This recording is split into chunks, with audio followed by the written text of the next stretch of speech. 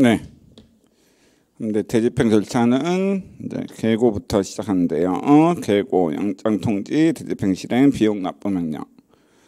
자, 233페이지 보도록 하겠습니다. 계고. 이거는 당신이 철거 업무를 불행했으니까 매달 며칠까지 건물을 철거해 주세요. 그렇지 않으면 우리가 강제 철거하겠습니다라는 뜻을 문서로 통지하는 걸 말해요. 그래서 의. 대집행을 위하여 상당한 이행 기간을 정하여 그때까지 이행되지 아니할 때에는 대집행을 한다는 뜻을 미리 문서로 통지하는 것을 말합니다. 법적 성질은 준법률행위자로서 통지고요. 계고 요건 상당한 이행 기간. 상당한 이행 기간을 줘야 되는데 그게 보통 5일에서 10일이에요. 아무리 큰 건축물이라도 5일에서 10일 정도만 주면 상당한 이행 기간을 부과한 것으로 봅니다. 그랬고요. 대집행 요건이 계고 시에 이미 충족되었을 것. 그 다음 페이지 넘기시면은 이건 뭐냐면은 판례 입장인데 그러니까 판례는 그러니까 지금 무허가 건축물이라는 허가 없이 건물 짓지 말아야 돼 부자기 의무를 위반한 건축물에 대해서 철거 명령이라는 대속자 기물을 부과하는 그 철거 명령 자기 하명과 개고 처분을 하나의 문서로 동시에 할 수 있느냐 했을 때 판례는 어차피 철거 명령과 개고 처분 동시에 하면 철거 명령과 동시에 대속자 의무가 부과되고 상당한 이행 기간 내에 이행하지 않으면 개고하는 거니까 문제될 것이 없다. 그래서 하나의 문서로 철거 명령과 개고 처분을 동시에 할 수 있다는 게 판례입니다. 그래서 이에 반해 판례는 한 장의 문서로서 일정 기간 내에 철거할 것을 명령함과 동시에 대집행 계고, 계고를 한 경우에도 철거명령 철거명령과 계고 처분은 독립하여 존재하는 것이므로 상당한 이행 기간이 부여되어 있다면 계고 처분은 적법하다고 보고 있습니다. 대집행 의무의 특정과 형식은 됐고요. 대집행 영장 통지. 자, 이거는 이제 계고 처분에서 적힌 날짜까지 철거 의무를 불이행했을 때 거기에 대해서 매달 며칠 날 우리가 누구를 보내서 강제 철거한다는 것, 철거하는 날짜랑 철거하는 사람들을 알려주는 걸 대집병장 통지라고 해요. 그래서 이 의무자가 개고를 받고도 지정한 기한까지 의무를 이행하지 아니한 경우에는 당해 행정청은 대집행에 의하여 대집행 시기, 대집행 책임자의 성명 및 대집행 비용의 계산액을 의무자에게 통지해야 합니다. 법적 성질은 뭐 준법률행위자 행정행위로서의 통지고요. 대집행 실행, 건물 강제로 때려부시는 거죠. 대집행은 대집행 영장이 기재된 시기에 대집행 책임자에 의해 실행된다. 건물 강제로 때려부시는 거. 대집행 실행은 권력조사 실행으로서 항고 수동 대상, 그리고 처분의 개념에 해당합니다. 네, 양가로 1번은 됐고 2번 의무자 항거에 대한 실력 배제 가능성. 그러니까 상대방이 철거업으로 불행한 건축물의 소유자가 그막 이렇게 화염병 던지면서 실력으로 이렇게 저항했을 때 그 사람의 어떤 신체에 실력을 행사해서 그 사람을 강제로 체포한 다음에 할 수 있느냐 했을 때 판례는 대집행 실행에 대해 상대방이 불응했을 때 경찰관과 같이 가가지고 대집행 실행을 하려고 했는데 상대방이 불응해 막 화염병으로 저항해 이러면 공무집행방해죄에 해당합니다. 공무집행방해죄라는 범죄 행위를 범한 사람에 대해서는 뭐예요? 바로 법관의 영장 없이 현행범으로 체포할 수 있거든요. 현행범 체포를 통해서 이제 하는 겁니다. 그래서 볼게요. 행정청이 행정 대집행의 방법으로 철, 건물 철거 의무 이행을 실현할 수 있는 경우에는 건물 철거의 대집행 과정에서 부수적으로 건물의 점유자들에 대한 퇴거 조치를 할 수 있고 점유자들이 적법한 대집행을 미력, 그러니까 힘을 가해서 방해하는 경우 공무집행 방해죄가 성립하므로 필요한 경우에는 경찰관 직무집행법에 근거한 위험 발생 방지 조치 또는 형법상 공무집행방해죄의 범행 방지 및 현행범 체포 차원에서 경찰의 도움을 받을 수 있습니다. 경찰이 투입돼서 그 사람들의 신체를 구금을 현행범 체포로 구금, 그리고 이제 수갑체여서 강제로 끌고 나온 다음에 건물 철거를 한다는 얘기죠. 아시겠죠? 비용 납부 명령이야. 비용을 납부해야 돼. 그 대집행 강제 철거하는데 든 비용을 납부해야 되는 물을 부과하는 거죠. 됐습니다. 그다음에 237페이지 이행강제금. 이행강제금은 그 의 정도만 보시면 되는데, 어, 아까도 얘기했다시피 그 어떤 철거 의무나 원상 회복 의무를 불이행한 건축물의 그 의무 위반한 사람에 대해서 이행강제금 800만 원을 부과해. 근데 6개월, 3개월이 지날 때까지 또 의무, 의무 이행 안 하면 또 이행 강제금 부과. 이렇게 3개월마다 의무를 이행할 때까지 계속 금전 부과 처분하면은 상대방은 돈을 계속 납부해야 되니까 빨리 의무를 이행하겠죠. 이렇게 의무를 이행할 때까지 계속 금전 부과 처분하는 게 이행 강제금이라고 보시면 돼요. 아시겠죠? 그래서 이 이행 강제금이란 행정법상 의무를 의무자가 이행하지 않은 경우에 행정청이 일정한 기간 내에 의무를 이행하지 않으면 일정한 제재금을 과할 뜻을 의무자에게 예고함으로써 심리적 압박을 가하여 의무자로 하여금 스스로 의무를 이행케 하는 행정상 강제집행 수단을 말합니다. 법적 성질이 야뭐 흡부하명이고요. 어, 법적 근거. 이행강제금은 흡부하명으로 침입적 행정임과 당연히 법률유보 원칙이 적용됩니다. 됐고요. 넘어가시면은 거기 이제 빈칸에 그냥 쓰시면 되는데 나머지는 됐고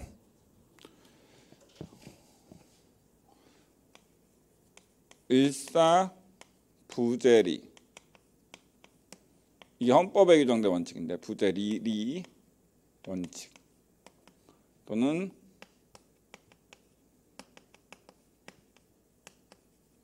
이중처벌 금지 원칙 일사부재리 원칙 또는 이중처벌 금지 원칙. 일사부재리 또는 이중처벌 금지 원칙. 이거는 뭐냐면은 헌법상 원칙인데 헌법 13조 이거는 하나의 범죄 하나의 위반 행위에 대해서 하나의 범죄 행위에 대해서 두 번 형벌을 부과할 수 없다는 원칙이에요. 일사부재리 이중처벌금지 원칙은 하나의 범죄 행위에 대해서 두 번 형벌을 부과할 수 없다는 원칙을 말합니다. 그러므로 하나의 범죄 행위에 대해서 만약 법률에서 어, 하나의 위반 행위에 대해서 형벌을 두 번을 부과할 수 있도록 했다. 당해 법률은 일사부재리 이중처벌 금지 원칙 위반으로 위헌이에요. 근데 여기서 중요한 건 하나의 위반 행위에 대해 두 번 형벌입니다. 형법에 규정된 벌. 그렇기 때문에 건축법에 보면은 철거 의무를 불이행한 건축물에 대해서 이행강제금도 부과하고 그다음에 행정형벌로서 징역이나 벌금도 동시에 부과하도록 되어 있거든요. 그럼 이것이 하나의 위반 행위에 대해서 두 번 형벌을 부과하도록 규정하는 것으로서 이사부재리 원칙, 이중처벌금지 원칙 위반으로 위헌 아니냐 했을 때 이행강제금 부과 처분은 행정행위이지 급부하명, 돈 납부해야 될 의무는 급부하명이지 형법에 규정된 형벌이 아니에요. 그러므로 하나의 위반 행위에 대해서 이행강제금이라는 형벌이 아닌 행정상 실효성 확보 수단으로서의 강제 집행 한번 하고 형법에 규정된 징역이나 벌금을 부과하는 것은 하나의 범죄 행위에 대해서 두 번 형벌을 부과하는 것은 아니기 때문에 일사부재리 이중처벌금지 원칙 위반으로 위법이 위헌이 아닙니다. 아시겠죠? 자 그렇게 보시면 돼요. 그래서 실제로 어, 아주 유명한 사건이었었는데 어떤 아주 나쁜 놈이 주거 침입해서 강도 강간 살인을 했어. 이 하나의 범죄로 주거 침입과 강도 강간 살인이 이제 하나의 범죄 행위로 이루어졌는데 이 또라이 검사가 주거 침입죄로만 그 기소를 한 거야 형사소송을. 그래서 그 검, 그 법원이 주거 침입죄로 뭐 징역 1년을 선고하는 판결이 내서 확정이 돼서 이제 징역 1년 살았는데 나중에 보니까 강도 강간 살인이라는 게 있었던 게 밝혀진 거야. 그래서 또 검사가 기소했을 때 법원은 형벌을 부과할 수 없다. 일사부재리 원칙에 반한다. 왜? 주거 침입 강도 강간 살인이라는 그 하나의 범죄 행위에 대해서 이미 징역 1년을 선고하는 판결이 확정돼서 형벌을 한번 부과했잖아. 여기에 대해서 또 다시 그 이후에 또 형벌을 부과하는 것은 하나의 범죄 행위에 대해 두 번 형벌을 부과하는 거니까 일사부재리 이중처벌 금지 원칙 위반으로 허용되지 않는다고 판시한 게 있습니다. 아시겠죠? 자, 그래요. 넘어가시면 되겠고. 직접 강제. 직접 강제는 딱 두 가지만 생각하시면 되는데, 어, 전염병, 아, 죄송합니다. 출입국 관리법에 어떤 위반해서 불법 체류하는 그 외국인들에 대한 강제 출국 조치. 그 다음에 두 번째로 그리고 무허가로 어떤 영업을 하는 그 무허가 포장마차나 이런 것에 대해서 강제 영업소 폐쇄 조치 아시겠죠? 그러니까 무 허가 포장마차를 강제로 이제 뜯어내고 폐쇄해서 이제 포장마차 영업을 못하게 하는 행위들 있죠. 이런 것이 이제 영업소 폐쇄 조치랑 그다음에 강제 출국 조치. 요게 이제 직접 강제라고 보시면 됩니다. 아시겠죠? 자, 그렇습니다. 아, 그리고 참고로 아, 그 심화 단가는 지금 이제 일정을 해야 될 것 같은데 참고로 그건 말씀드릴게요. 심화 단가는 아마 11월 금요일 날 오전 오후로 아마 진행될 것 같습니다. 참고로 일정이 조금 변경돼 가지고 혹시나 심화 단가를 들으신다고 하면은 11월 달 금요일 날 오전 오후로 아마 진행이 될 것 같은데 근데 뭐 심화 단가는 직접 들으시는 것도 좋겠지만 일정이 좀 안 맞는다고 하시면은 그냥 동영상 인강으로 들으셔도 되니까 아시겠죠? 그렇게 해주시면 될 것 같아요. 그리고 어 근데 듣기는 들으셔야 돼요. 단가 아시겠죠? 듣기는 들으셔야 돼요. 근데 여러분들이 잘 정, 하셔야 되는 부분은 지금 이제 기본 강의 들으셨잖아. 그렇죠? 이제 심화 단가를 지금 이제 올해 지금 9월부터 지금 들으신 거잖아요. 그런데 심화 단가를 다섯 과목을 전부 다 10, 11월, 12월에 듣는다. 이건 불가능해요, 여러분들. 절대 못 들어요, 이렇게. 왜? 아, 들을 수 있죠. 강의야 들을 수 있지. 근데 심화 단가는 진짜 암기하면서 해야 되는데 안 돼. 그러니까 어떻게 하시는 게 좋은 거냐면은 그러니까 이렇게 어, 국어, 국사, 영어 여기 이거를 심화 단가를 11월, 12월에 들으시거나 아니면은 차라리 그냥 행정법, 행정학이나 여기 이제 영어나 국어 중에 하나 이렇게 해서 세 과목을 11월, 12월에 집중적으로 해서 복습 위주, 복습도 하시고 문제도 풀면서 철저히 하시고 그 다음에 1월, 2월에 인강이든 만약 심화 단가 실강이 있으면은 그렇게 해가지고 이렇게 나머지 두 과목 해서 하신 다음에 이제 문제풀이를 같이 하시면은 그게 오히려 더 도움이 될 수가 있긴 해요. 아시겠죠? 자, 물론 이제 여러분들 능력이 되시면 하시면 좋겠는데 다섯 과목 다 들으시면 좋은데 어, 제가 이제 누차 말씀을 드리지만 음, 지금 이제 제가 강의 제 강의를 들으시면서 여러분들이 이해가 되셨어? 어? 그럼 이게 여러분들이 진짜 이해가 된 거냐가 아니라 진짜 이해가 되시려면 여러분들이 직접 독서실이나 이런 데 앉으셔가지고 책을 보면서 읽어보면서 제가 강의했던 내용이 떠오르면서 이해가 된다. 그러면 그게 진짜 여러분께 된 거예요. 한마디로 강의 한번 듣고 실제로 여러분들께 되는 거냐? 아니고 여러분들이 독서실에 앉아서 해야 돼. 근데 지금은 여러분들 지금 뭐예요? 오전 오후로 다 강의를 듣죠. 그럼 독서실에서 앉아 있는 시간이 많지가 않잖아. 그렇죠? 근데 이거는 그래도 기본 강의니까 그나마 괜찮아. 근데 심화 단가에서는 그렇게 하면은 강의도 듣기도 힘들고 본인의 공부할 시간도 확보가 안 되니까 이것도 저것도 안 돼. 아시겠죠? 그래서 제가 이제 말씀을 드리는 겁니다. 아시겠죠? 자, 자 그렇게 이제 생각하시면 될 것 같아요. 아시겠죠? 그리고 시급 준비하시니까 시급은 좀 여유가 있잖아요. 시험 본 기간이 굉장히 있으니까. 근데 9급은 국가직이 이제 4월 정도에 시험을 보니까 4월 그죠? 4월이나 뭐 시간이 5월로 이렇게 할 수도 있긴 하겠지만 하여간 그리고 뭐 지방직까지 하고 군무원까지 한다면은 사실 이제 7월 달에도 이제 군무원 시험이 있고 하니까 그렇죠? 이제 그렇긴 하긴 하겠지만 그렇고 국가직 지금은 뭐 아시는 바죠 국가직은 뭐 1차가 이제 7월 달쯤에 보고 그렇죠? 하니까 그러니까 PSAT죠? 이제 이렇게 하니까 일정에 맞게 이렇게 잘 짜시면 될 것 같긴 해요. 아시겠죠? 그러니까 기본적으로 여러분들의 승부는 다시 한번 말씀드리지만 막판 시험 보기 시험 보는 날짜가 내년에 발표가 되면 그 날짜로부터 한 달은 강의를 들으시면 절대 안 된다. 아시겠죠? 네, 학원의 방침에는 반할 수 있어요. 아시겠죠? 근데 저는 제가 합격을 한 입장에서 저는 명확하게 말씀을 드릴 수 있을 것 같아요. 저는 분명히 그렇게 공부를 해서 합격했고 제 강의를 제가 23년 동안 강의를 했어요. 그렇죠? 그리고 제가 누차 말씀드리지만 지금도 그 오국공채 바로 신림동 대학동에서 할 때는 사람 굉장히 많은 아주 많습니다. 아시겠죠? 네. 그러니까 그래서 합격생 정말 많이 배출했고 했으니까 믿음을 가지시면 되는데 제 방식이 저는 확실히 여러분들이 합격하는데 단기 합격하는 데는 큰 도움이 될 거다. 아시겠죠? 강의만 듣는다고 합격을 하느냐? 그거는 아니다라고 제가 말씀드릴 수 있을 것 같아요. 여러분들이 결국 얼만큼 독서실에서 앉아 있느냐 막판에 아시겠죠? 그래서 그 막판을 위해서 여러분들 하시고 제가 누차 말씀드리죠. 또 하는 게 뭐예요? 체력 아시겠죠? 보약을 지금 드시던 뭐 하여튼간 하여튼간 체력 되게 중요합니다. 아시겠죠? 자 보겠습니다. 일단 직접 강좌 볼게요. 그러니까 안타까워서 그래요.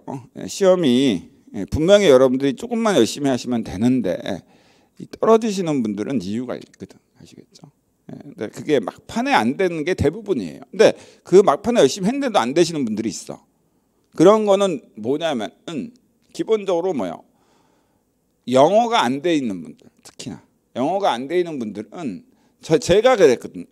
제가 그랬으니까 영어가 안 돼 있어가지고 진짜 영어 열심히 했어요. 사법고시 볼 때. 근데 시험장에서 결국 뭐예요? 20개 틀렸다니까 40문제 중에. 그야마 나머지 다섯 과목에서 뭐예요? 나머지 다섯 과목에서 다 100점 맞았으니까 사법고시는 이제 80점이 1차 과목 1차 시험할 때 80점이 합격선이었는데 나머지 과목에서 다 민법이나 형법이나 형사정책, 헌법, 노동법 이 나머지 다섯 과목을 거의 100점 맞다시피 하니까 평균 80점이나 이상 90점 나와서 이제 합격을 하긴 했는데 어떤 그래요. 그러니까 그런 부분들은 그러니까 사람마다 틀리니까 여러분들이 나중에 이제 동영 모의고사를 보게 되죠. 보면서 본인이 어느 정도인가 특히나 그 국어나 국사도 요즘에 옛날에는 국어가 되게 어려웠거든요. 근데 요즘에는 그렇진 않아요. 아시는 바와 같이 그죠? 그러니까 옛날에는 국어 영어가 핵심이었는데 지금은 어떻게 보면 뭐예요? 영어가 조금 그래요. 이 영어 점수에 대해서 어느 정도 나오는지 측정해서 해도 안 되겠다. 그러니까 영어 10점 올리는데 10시간이 필요해. 근데 행정법에서 10점 올리는데 뭐예요? 3시간 필요해요. 그럼 어, 어디에 투자해야 돼? 행정법 투자해야지. 국사 투자해야지. 그렇죠? 근데 이건 어떻게 될지는 여러분들이 이제 이거는 해봐야 되는 거지. 이거는 개인 상담이 필요한 겁니다. 그럴 때는 아시겠죠? 근데 그 개인 상담은 지금은 할 필요는 없고요. 동영 모의고사 보면서 모의고사 점수 보면서 하면 돼요. 아시겠죠? 그때는 이제 저한테 카톡으로 보내주시면 제가 상담해 드리도록 할게요. 아시겠죠? 자, 의. 지적 강제란 의무자가 행정법상 의무를 이행하지 아니한 경우에 행정청이 직접적으로 의무자의 신체 또는 재산의 실력을 행사 행정상 필요한 상태를 실현하는 강제 집행 수단을 말합니다. 자, 지적 강제 필요성 됐고 지적 강제 성질은 수인 의무, 상대방한테 삼아야 될 의무를 수반하는 권력조사 실행, 항고소송의 대상인 처분의 개념에 해당해요. 법적 근거, 당연히 상대방의 신체 재산의 실력을 행사하는 침입적 행위이므로 법률의 근거 없이 하면 법률부 원칙 기반으로 위법합니다. 그래서 법률부 원칙상 법률의 근거가 필요하다. 그렇죠? 그랬고 직접 강제 한계나 권리 구제는 지금 보실 필요 없습니다. 넘어가시고요. 그다음에 242페이지 행정상 강제 징수. 그러니까 독촉 압류 공매 청산. 그러니까 세금 체납 세금을 납부해야 될 의무나 과징금 납부해야 될 이렇게 돈을 납부해야 될 의무, 금전급부음으로 불이행했을 때 하는 거죠. 의. 행정상 강제징수를 하면 행정법상 금전급부 의무가 이행되지 아니한 경우에 의무자의 재산에 실력을 가함으로써 의무가 이행된 것과 동일한 상태를 실현하는 작용을 말합니다. 근거로서는 일반 법률로서 국세징수법이라는 법률의 근거가 있어요. 절차, 독촉의 국세를 납부 기 한까지 완납, 그러니까 완전히 납부하지 아니한 납세 의무자에 대해서는 세무서장, 시장군수는 납기용가 후 10일 이내에 독촉장을 발부하고 체납 국세의 100분의 3에 해당하는 3, 3%죠. 가상금을 징수한다. 그렇습니다. 법적 성질. 독촉은 체납 처분, 그러니까 압류, 압류 공매 처분할 것을 납세 의무자에게 예고하는 통지인 준법률 행위적 행정이라는 점에서 대집행에 있어서의 계고와 성질이 같다. 아시겠죠? 근데 그 다음 다음 줄 다수 음, 좀 다만 판례는 비록 독촉 절차 없이 그러니까 독촉을 한 다음에 압류해야 되는데 독촉 없이 한 압류 처분을 한 경우에 중대명백한 하자로 인정하지 않고 있다. 그러니까 취소 정도 하자밖에 없다고 봐요. 그러니까 독촉 없이 한 압류 처분은 위법이 있긴 하지만 중대명백해서 무효는 아니고 권한 있는 기간이 취소하기 전까지 유효하다. 그러니까 취소 정도 하자가 있는 처분으로 봅니다. 체납 처분, 압류. 그러니까 일단 움직이는 동산, 그러니까 뭐 이렇게 시계나 이런 데는 뭐예요? 이렇게 빨간 딱지 붙이는 거 아시죠? 실력 행사에서. 어, 그리고 부동산 같은 경우, 그러니까 건물이나 토지인 경우에는 뭐예요? 등기부에 압류 등기를 하는 걸 말합니다. 아시겠죠? 납세 의무자가 독촉조차에서 지정한 기한까지 납부, 납부 의무를 불이행하면 납세 의무자의 재산을 압류할 수 있다. 이 압류는 의무자의 재산의 법률상 처분과 사실상 처분을 금지하는 권력적 사실행위에 해당합니다. 됐고 옛날에는 그 밑에 있는 게 진짜 나왔어. 옛날에는 뭐 압류를 어, 급여에 대해서는 2분의 1밖에 못 하고 이런 것들이 시험 문제 나왔어. 옛날에는. 근데 지금은 안 나오죠. 네, 그러니까 이런 그래서 옛날에 구급이나 이런 게 시험 문제 그게 어려웠어요. 암기가 진짜 많았거든. 아시겠죠? 근데 요즘에는 그렇게까지는 안 나옵니다. 아시겠죠? 요즘에 하는 게 맞고 아 왜? 옛날에 옛날에는 왜 이런 것까지 했냐면 20년 전, 30년 전에는 인터넷이 발달 안 됐으니까 이런 걸 찾아볼 수 있는 게 별로 없으니까 외우고 있었어야 돼 공무원이. 근데 지금은 아, 네이버에 찾아보면 다 나오는데 이걸 외워서 뭐 하려고? 안 그래 사실은 그죠? 자 그렇습니다. 그다음에 압류재산 매각, 공매, 경매라고 보시면 돼요. 아시겠죠? 압류재산은 통화, 그러니까 그 돈이죠. 돈을 제외하고 공매 공매, 경매 처분이라고 보신다. 경매에 의해 매각하며 공매는 보통 방법, 바로 이제 그 경매감으로 입찰에 의해서 행해지나 수의 계약으로 그러니까 수의 계약은 어떤 특정한 사람과 계약을 통해서 하는 경우도 있긴 해요. 공매는 공법상 대리라는 행정행위에 해당합니다. 그래서 실제로 이 공매 대상이 된 그 압류돼서 공매된 것 중에 그 명품이나 시계 같은 게 되게 많아요. 남자분들이 좋아하는 시계나 이런 거 되게 싸요. 실제로 뭐 백화점에서 한한뭐뭐 까르띠에 금장 뭐 6천만 원 정도 되는 남자든 여자분들이든 까르띠에나 뭐 이렇게 롤렉스 6천만 원 정도 되는 시계가 공매로 나오는 경우에는 한 2천만 원 정도에서 살 수 있는 경우 많이 있습니다. 이런 거는 공매 처분은 실제로 이제 한국 자산관리공사라는 데서 하거든요.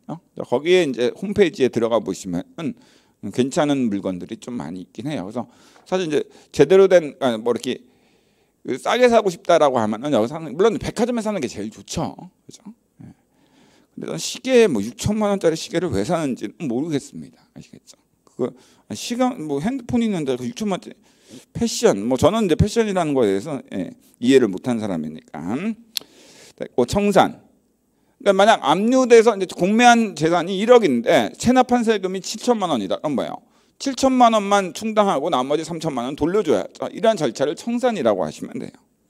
나머지는 됐고요. 넘어가시면 됩니다. 그 다음 행정벌. 행정벌은 두 가지가 있죠. 공법상 의무를 위반한 사람. 그러니까 도로교통법상 중앙선 침범하지 말아야 될 의무나 도로교통법상에 음주운전 하지 말아야 돼. 이러한 의무를 위반했을 때 부과되는 게 두 가지. 첫 번째는 형법에 규정된 징역이나 벌금을 부과하는 행정형벌과 그 다음에 그 과태료를 부과하는 행정질서벌이 있어요. 그럼 어떤 경우에는 행정형벌을 부과하고 어떤 경우 과태료 부과하냐? 이건 입법자 국회가 이 위반은 그러니까 음주운전은 좀 심하잖아. 이런 거는 형벌을 부과하도록 하는 게 맞죠. 벌금이나 징역, 전과자 만드는 게 맞는데 예를 들어서 그 신호등 위반이다. 사람을 치는 것도 아니고 나 신호등 잠깐 위반했어. 이런 것까지 형벌을 부과하면 전과자가 너무 많아지잖아. 그렇죠? 그러니까 이런 경우에는 과태료, 행정 질서벌을 부과하도록 보통 합니다. 그러니까 여러분들이 생각 상식적으로 이 의무 위반은 좀 심하다라고 하면 형벌이 보통 부과되고 이 의무 위반 정도면은 이거는 사람이 살다 보면 위반할 수도 있지. 이런 경우는 과태료가 보통 많이 부과된다고 보시면 돼요. 자 보겠습니다. 행정벌 의 행정벌이란 행정법상 의무 위반 행위에 대해 제재로서 가하는 처벌을 말한다.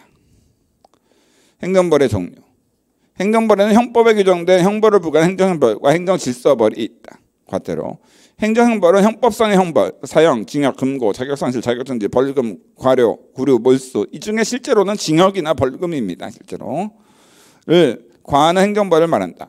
행정형벌에는 원칙으로 형법 총칙이 적용되고 왜 형벌이니까 형법 총칙이 적용되고 처벌은 형사소송법이 정한 절차에 따른다. 형벌은 오로지 검사의 형사소송, 기소에 의해서 형사법원에 의해서만 판사에 의해서만 부과가 가능해요. 행정청이 부과 못하고 검사가 형사소송, 기소를 해서 형사법원에 의해서만 형벌은 부과가 가능합니다. 형법에 규정된 징역 벌금은 아시겠죠? 자, 그다음에 행정질서벌은 과태료가 가해진 행정벌이다. 행정질서벌에는 국가법령에 근거한 것과 지정체의 조례에 근거한 것이 있다. 과태료는 관한 성질을 달리하는 것이므로 형법에 규정된 벌이 아니니까 형법 총칙이 적용되지 않고 형벌이 아니기 때문에 처벌 절차도 형사소송법에 의하지 않습니다.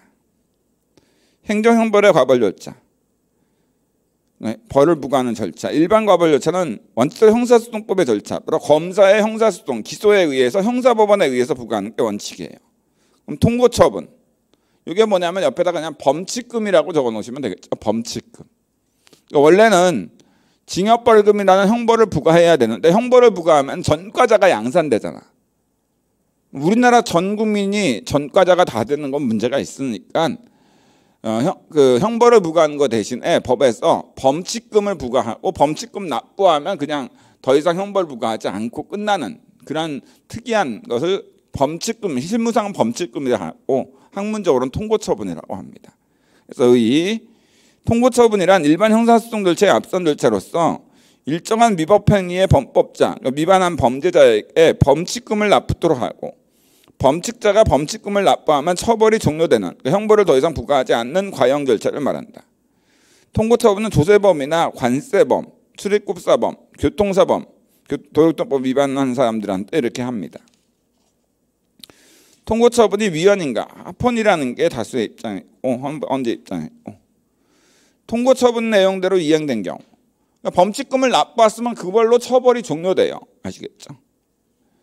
자 그래서 읽어보면 세무서장, 지방 뭐 관, 후세청장, 뭐 세무관서장, 관세청장, 뭐 수립관리소장, 경찰서장 등에게 통고 처분, 그러니까 범칙금을 받은 자, 아, 그 통고에 따라 따라가 따라인데 못합니다. 따라 이행돼 이행한 때, 그러니까 범칙금 납부한 때는 확정 판결과 동일한 효력이 발생하게 되어 일사부재원칙이 적용되므로 다시 소추하지 못한다. 아마 이미 범칙금 납부했으면 그러한 범법 행위에 대해서 또다시 검사가 기소해서 형벌을 부과하는 것은 일사부자리 이중처벌금지 원칙 위반으로 위헌이 된다는 거예요. 안 된다는 거죠. 죄송합니다. 통고처분 이행 기간이 경과해도 고발되기 전이면 이행이 가능하다. 그러니까 범칙금을 10월 20일까지 납부하라고 했는데 10월 20일이 지나서까지도 아직 납부 안 했어. 그렇다 하더라도 그 행정청이 고발해서 검사가 형사소송 제기하기 전까지는 언제든지 납부할 수 있다는 얘기예요. 그럼 끝난다는 거야. 아시겠죠? 통고처분대로 이행되지 않은 경우, 그러니까 범칙금을 납부하지 않은 경우죠. 어, 아시겠죠? 법정 기간 내에 이행하지 않으면 통고처분의 효력이 상실된다. 그러니까, 법, 그러니까 법, 범칙금을 납부하지 않으면은 그냥 범칙금은 효력이 소멸됩니다. 그러면 이제 그 세무관서장이나 이제 경찰서장이 검찰에 고발을 해요. 검찰은 통고청구자의 고발 없이는 기소, 형사소송 얘기할 수 없습니다. 통고처분, 그러니까 범칙금이 행해, 행해야지만 공소시효 진행을 준다. 이건 뭔 의미 없고. 밑에 판례 밑에 두 줄 통고 처분에 대해서 형사소송 절차에 다툴 수 있기 때문에 항고소송 대상인 처분에 해당하지 않는다. 그러니까 범칙금은 항고소송의 대상인 처분의 개념에 해당하지 않습니다. 그래서 범칙금에 대해서 취소소송 얘기하면 법원은 이거는 취소소송의 대상인 처분이 아니라고 해서 소송요건 흠결로 각하예요. 나중에 설명드리도록 하고 행정질서벌 과태료라고 보시면 되죠. 의 행정 질서벌이라 하면 행정법규 위반에 대하여 과태료가 가해지는 행정벌이다. 됐고요. 법적 근거. 그 행정 질서벌에 대한 일반법인 질서 위반행위 규제법이 제정되어 2008년 6월 22일부터 시행된다. 동법은 과태료 부과 징수, 재판 및 집행 등의 절차에 관한 다른 법률 규정 중 이 질서위반 규제법의 규정에 저촉되는 것은 이 법이 정한 바에 따른다라고 규정하고 있습니다. 행정질서벌의 특수성. 형법 총칙과 행정질서벌. 행정질서벌은 과태료기 때문에 형벌, 형벌이 아니에요. 형법 총칙이 적용 안 됐죠. 그래서 과거 통정과 판례는 행정질서벌인 과태료는 형벌이 아니므로 행정질서벌에는 형법 총칙이 적용되지 않는다고 했다. 아시겠죠? 됐습니다. 아, 그러나는 읽어보실 필요 밑에 있는 것까지 볼 필요 없는데 양가를 5번만 보시면 되는데 행정형벌과 행정질서벌의 변과 가능성. 그러니까 하나의 위반 행위에 대해서 형법에 규정된 벌금을 부과함과 동시에 과태료도 동시에 부과하도록 법률에 규정되어 있을 때 그 법률이 이중처벌금지 원칙 위반으로 위헌인가 했을 때 대법원은 과태료는 형법에 규정된 형벌이 아니기 때문에 하나의 위반 행위에 대해 형법에 규정된 형벌, 징역이나 벌금 한 번 부과하고 과태료 부과하는 것은 하나의 위반 행위에 두 번 형벌을 부과하는 게 아니기 때문에 일사부대리 이중처벌금지 원칙 위반으로 위헌이 아니라고 봐요. 아시겠죠? 근데 여기에 대해서 헌재는 과태료도 뭐 거의 형벌 형벌은 아니지만 형벌과 비슷하니까 이중처벌금지 원칙 위반의 위헌성이 없, 있다라고 보고 있습니다. 그러니까 대법원과 헌재가 좀 상반되고 있어요. 그래서 대법원 입장. 판례는 과태료 부과 처분을 받고 이를 납부한 일이 있더라도 그 후에 형사처벌, 형벌을 한다고 해서 일사부대리 원칙에 어긋나는 것이라고 할 수 없다 라고 판시한 바 있다. 넌제 행정 질서불로서 과태료는 형벌의 목적 기능이 중복되는 면이 없지 않으므로 동일한 행위, 그러니까 동일한 범죄 행위를 대상으로 하여 형벌을 부과하면서 아울러 행정 질서불로서의 과태료까지 부과하는 것은 이중처벌 금지 원칙의 기본 정신에 배치되어 국가 입법권의 난명으로 인정될 여지가 있다라고 판시하여 양자를 변고할 수 없다는 취지의 결정을 내렸습니다. 됐고요. 부가 절차에 대해서는 여기 있는 거 그 다음 페이지에 있는 거 읽어보실 필요 없고 제가 설명드리고 마무리 짓도록 하겠습니다.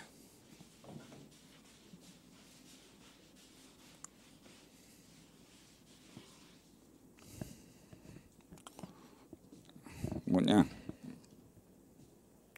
실제로 예를 들어서 그러니까 A가 이제 택시 하시는 분이신데 택시 개인 택시 하시는 분인데 이제 A는 합승 그러니까 여객선사 운수사법에 위반해서 합승 행위를 한 적이 없다라고 주장하지만 실제로 이제 합승 행위를 한 게 신고에 의해서 이제 적발이 됐어.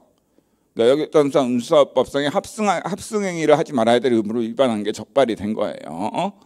이런 경우 이제 먼저 구청장이 이제 신고를 받은 구청장이 1번으로 어, 과태료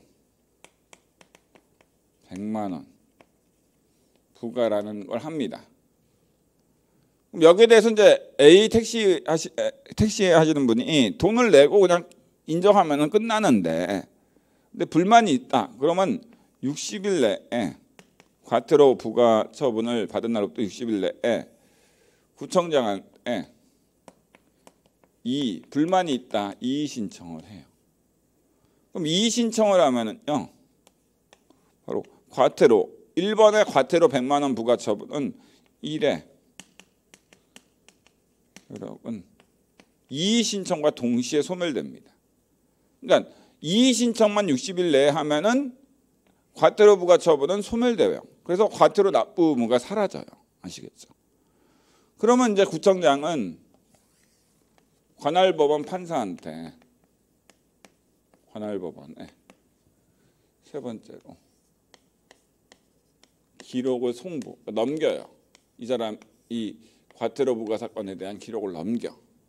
그럼 이제 관할법원 판사가 매달 며칠 날 법정에 나오세요 A한테 통지를 해요. 이제 A가 나와. 이제 판사가 그 구청장이 보내준 기록을 보니까 그 합승행위 하셨네요. 위반행위 하셨네요. A가 아, 자기는 위반행위 안 했다. 말하지만 알겠습니다. 뭐 참작 사유가 있으니까 제가 알아서 결정 내릴게요. 어? 어, 나중에 결정 받고 불만 있으면은 항고하시던지 하세요라고 해요. 그러면서 뭐요? 네 번째로 이제 법원이 과태료